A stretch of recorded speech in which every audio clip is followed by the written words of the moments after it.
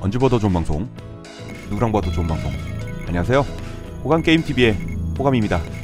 오늘 제가 여러분들하고 같이 플레이 해볼 게임은요 Rise of the Robot 386 486 시대에 이 게임이 굉장히 핫한 게임 중에 하나였어요. 자세한 건 오프닝 이후에 말씀드릴게요. 그럼 출발합니다.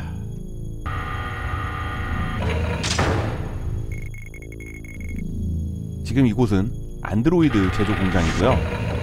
이 게임의 주인공 사이보그를 만들고 있는 중이네요.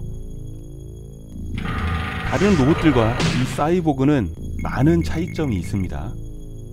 유기질과 무기질 두 가지를 잘 조합을 해서 만들어진 매우 진보된 기술의 결과물입니다. 이 사이보그의 몸에는 마이크로칩이나 전류가 흐르지 않아요.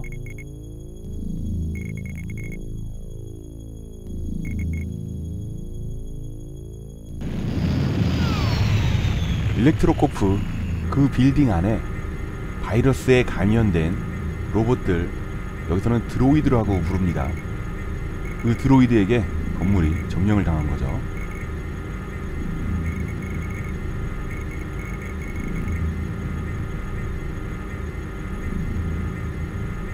점령당한 건물로 비행기를 타고 우리의 주인공이 이동 중입니다.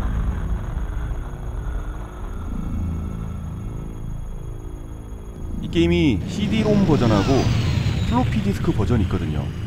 CD-ROM 버전은 이렇게 동영상이 있는데 플로피 디스크는 그냥 움직이지도 않는 사진 몇 장으로 이 오프닝을 다 대체를 합니다. 이 게임 발매했을 때 당시에는 CD-ROM이 이제 막 보급이 되는 그런 타이밍이었거든요. 그래도 고가의 물건이었기 때문에 CD-ROM을 쉽게 볼 수 없었던 그런 시기이기도 하고요. 이제 건물에 도착을 했습니다. 이 게임의 배경이 2043년이거든요. 올해가 2023년. 네, 20년 후에 이런 미래가 올 것인가 궁금해집니다. 제 생각에는 이 정도까지는 안 될 거라고 생각합니다. 예전에 2020 원더키드라는 애니를 보고 그때는 이렇게 될까라고 어린 나이에 상상을 많이 했는데 네 어림없죠 지금 여기는 건물의 컨트롤 센터 그쯤 되는 지역이고요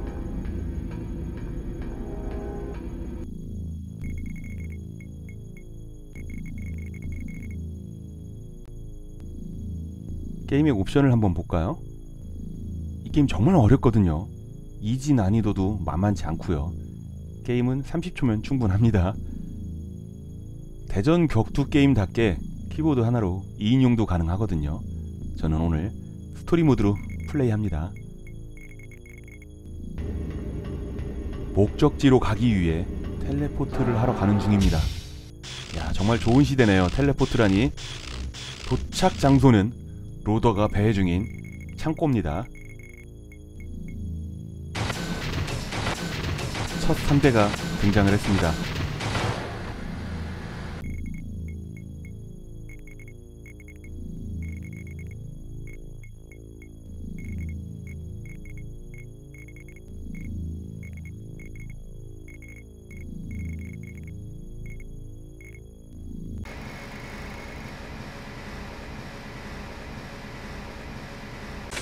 상대 로봇의 이름은 로더입니다. 여기는 창고잖아요.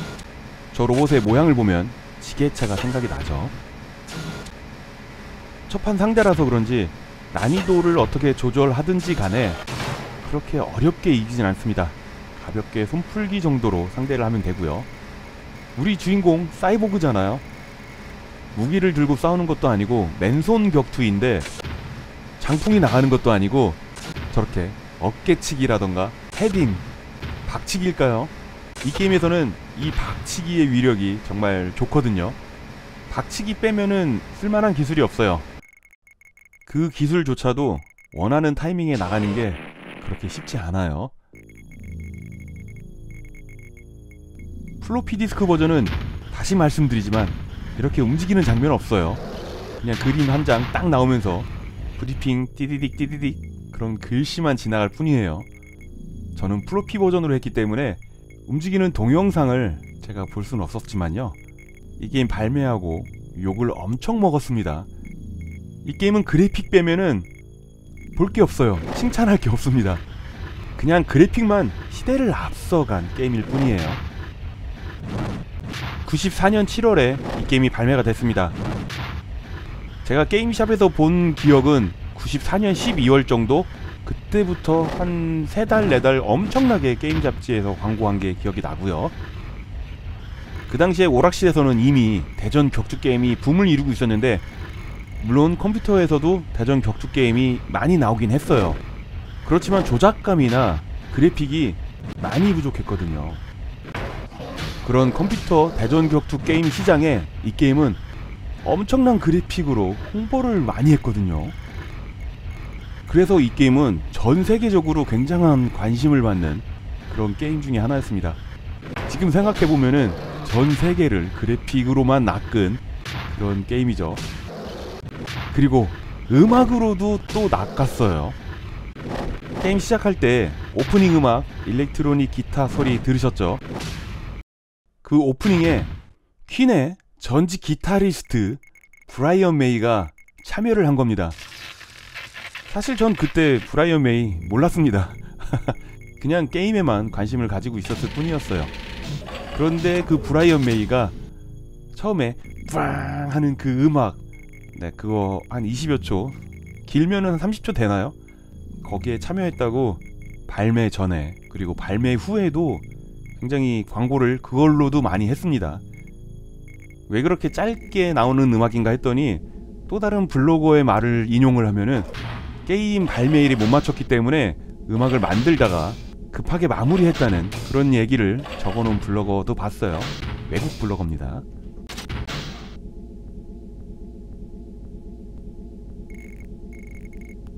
배경 음악이 없죠. 정말 정막합니다.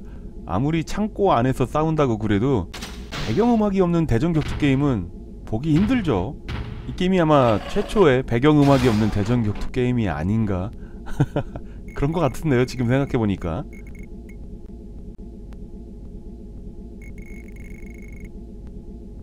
이 게임은 8방향으로 움직이고요. 버튼은 가드 버튼이랑 공격 버튼 하나 있습니다. 방향키 조작을 어떻게 하느냐에 따라서 주먹이 나갈 때 있고요. 발차기를 할 때도 있고요. 이렇게 shoulder를 이용한 공격은 방향키를 가일 장풍처럼 쏜다고 생각하시면 됩니다. 박치기는 somersault kick을 생각하시면 돼요. 아래에서 위로 방향키를 움직이면서 공격 버튼 누르면 박치기를 합니다.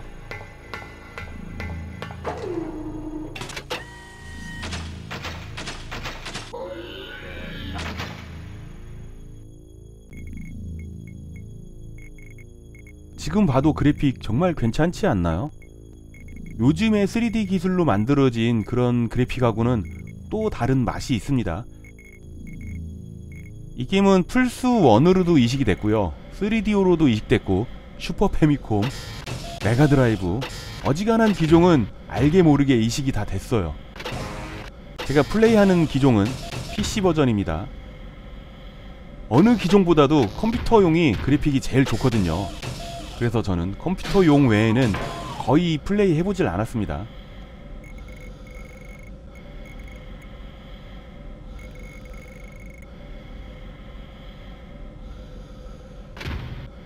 이 게임은 한국에 정식 발매가 됐습니다. 쌍용에서 유통을 맡았고요. 플로피 디스켓 버전하고 CD롬 버전 두 가지 버전이 있어요. CD롬은 그냥 CD 한 장이면 됐는데 플로피 디스켓은 무려 15장이었습니다. 그것도 5.25인치가 아니라 3.5인치로 15장. 정말 엄청난 고용량 게임이죠.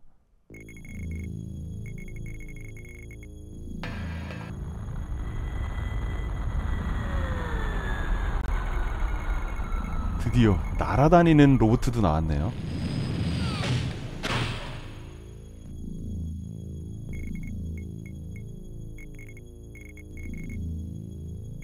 날아다니기도 하는데 외형만 봐도 굉장히 멋있게 생겼습니다. 덩치도 굉장히 크거든요. 이 게임의 중간 보스라고 보시면 됩니다.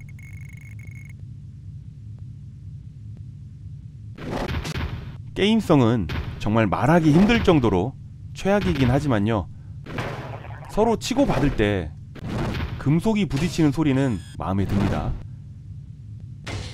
그리고 때렸을 때 저렇게 부서지는 조각들도 하긴 이 부분은 그래픽 쪽이니까 네, 그래픽은 정말 흠잡을 데 없을 정도로 잘 뽑아내긴 했어요. 아, 이 게임의 장점이 하나 생각났습니다. 친구가 집에 놀러 왔을 때 자랑용으로 그래픽은 좋으니까 친구 눈 휘둥그레하게 만들어줄 수 있는 그런 게임입니다. 인용도 되니까 또 잠깐 즐길 수는 있어요. 금방 질리고 게임성에 친구도 눈치를 채죠. 어떤 게임인지는. 이 게임이랑 당시에 비교됐던 게임이 원 머스트풀 2097이라는 PC용 대전 격투. 그 게임도 로봇끼리 싸우는 대전 격투 게임인데 윈도우 이전에 도스 시대의 최고의 격투 게임을 뽑으라고 하면은 OMF 2097 그 게임을 빼놓을 수가 없습니다. 중간 보스를 발로 그냥 빵 차서 고철 버리듯이 버렸는데 이게 뭔가요? 아까 처음에 싸웠던 그 창꼬지기 로봇이잖아요. 얘가 왜 또 나와? 네, 이 게임이 또 다른 단점. 한번 싸웠던 적을 한 번 더 우려 먹습니다. 두 바퀴를 돌아야지 끝판왕을 볼 수 있거든요. 이런 부분이 또 게이머 입장에선 아쉽고요. 지루하고요. 그리고 이 게임은 컨티뉴가 안 됩니다. 한 번 지면은 다시 도전해야 돼요. 처음부터. 그래서 그 당시에 15장이나 되는 플로피 디스켓을 가진 게이머들은 정말 어렵게 컴퓨터에 install을 하고 난 다음에 엔딩도 못 보고 지우신 분들 많으실 거예요. 가뜩이나 하드 용량도 부족한데 자리만 많이 차지하고 게임은 재미없다고요. 오늘 제가 이 게임 엔딩까지 보여드리도록 하겠습니다. 무려 CD롬 버전이라 동영상으로 나옵니다. 우와.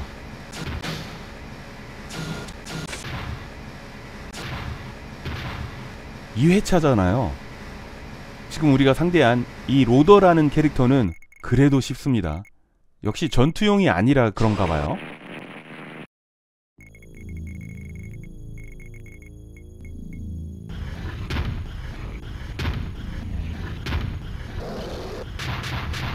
보셨던 장면이니까 이런 부분은 건너뛰도록 하겠습니다. 우리 주인공은 인간형 사이보그잖아요. 그렇기 때문에 이 건물 안에 있는 바이러스의 영향을 받지 않습니다. 중요한 내용인데 빼먹을 뻔했네요.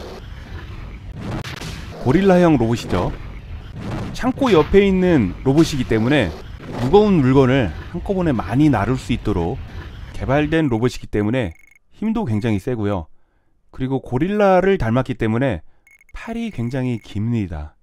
긴 리치 때문에 어지간히 만만히 봤다가는 그냥 접근하기 전에 우리가 당할 수도 있어요. 체력 게이지 밑에 파란색 게이지가 쭉 올라가죠. 버튼을 누르고 있어야지 힘이 모아지는 거고요. 떼면서 방향키 입력을 해야지 공격을 합니다. 정말 개발자 위주의 그런 키 입력 방식이죠. 게이머를 배려하지 않았어요. 2회차이지만 세 번째 만난 캐릭터의 이름은 크러셔. 첫 상대는 창고, 두 번째는 물건 나르는 애. 그런데 세 번째는 포장할 것 같은 손은 아니죠. 제가 보기에는 잘못 만들어진 생산품을 파괴를 하는 그런 용으로 만들어진 로봇으로 보여집니다. 로봇을 파괴하는 로봇이니까 로봇계의 킬러라고 보시면 되겠네요. 색도 녹색이잖아요.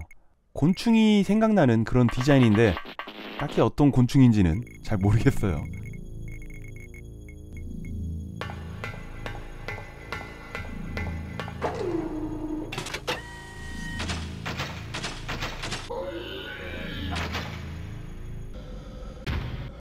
어이얏 하면서 등장을 하잖아요.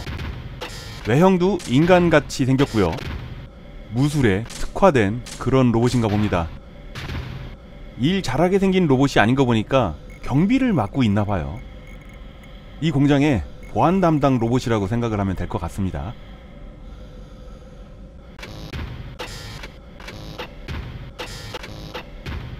리듬을 타면서 싸우고 있습니다.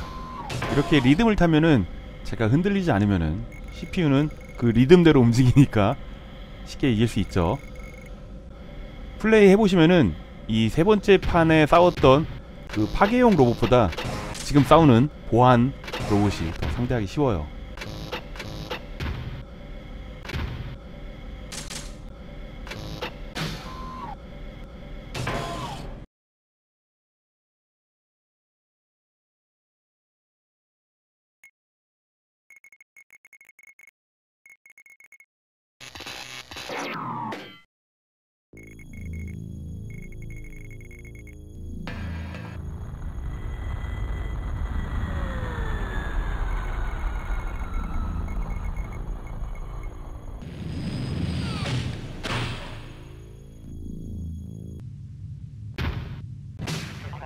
드디어 마지막 판 보스 전에 만나는 중간 보스죠. 센트리. 우리 주인공보다 긴 리치, 엄청난 파괴력, 인간형 외모, 차세대 droid라고 보여집니다. 지금은 중간 보스니까 경비 대장 정도일까요? 크기는 크지만 가벼운 금속으로 만들어졌다고 합니다. 그리고 빠른 기동을 위해서 등에는 제트팩이 장착되어 있다고 하네요. 그러니까 날아다니지. 제가 생각하는 로봇은 무조건 날아다닙니다. 날아다니지 않으면은 뭔가 로봇스럽지가 않아요. 이 게임은 2편도 있습니다. 1편을 아무리 욕했다고 해도 일단 사야지 욕할 수 있는 시대였잖아요. 지금 시대였으면은 벌써 인터넷으로 소문이 나가지고 안 팔렸을 텐데 당시에는 그런 게 없었으니까 얼마나 많이 팔렸을까요? 그러니 2편이 나오지.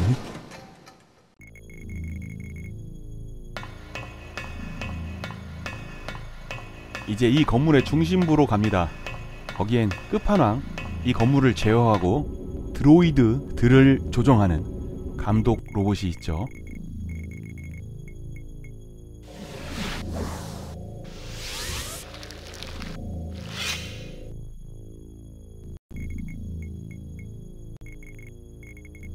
모습을 보니까 터미네이터 T1000이 생각이 나고요. 그리고 버추어 파이터의 끝판왕이 생각이 나고요. 외형을 보니까 남성은 아닙니다. 여성형 보스네요. 손 모양을 보니까 정말 터미네이터의 T1000이 생각이 나고요. 이렇게 녹아버리니까 더욱더 터미네이터 생각이 납니다. 저렇게 녹았다가 원래대로 오면은 에너지가 가득 차가지고 재생이 되거든요. 에이 이번 판은 그냥 포기해야겠습니다. 이길 수가 없잖아 얘 봐. 이건 반칙이지.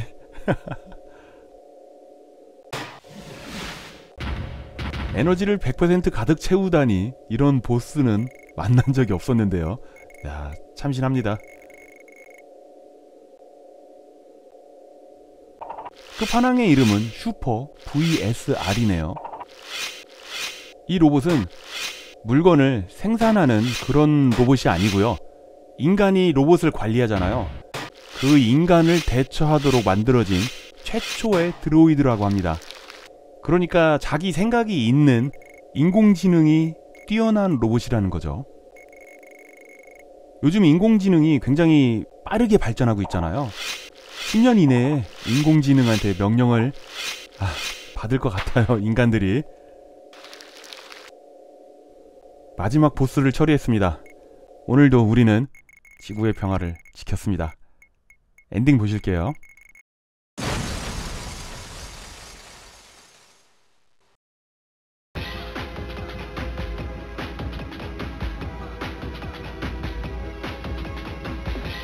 엔딩에 뭔가 특별한 영상이 있는 건 아니고요. 그냥 자기네들이 움직이는 동영상 만든 걸 다시 한번 보여주는 우려먹기죠. 아 이렇게 성의가 없다니. 오늘은 모처럼 만에 도스 시절 유명했던 게임을 리뷰를 해봤습니다. 어떻게 재밌게 보셨나요? 오늘도 귀중한 시간 내주셔가지고요. 호간게임TV를 봐주셔서 정말 감사합니다. 호간게임TV를 봐주시는 모든 분들 언제나 하시는 일 술술술술 풀리기를 제가 늘 바라고 있는 거 아시죠? 저는 최대한 빠른 시간 내에 재밌는 게임 가지고요. 금방 돌아오도록 하겠습니다 금방 올게요. 감사합니다.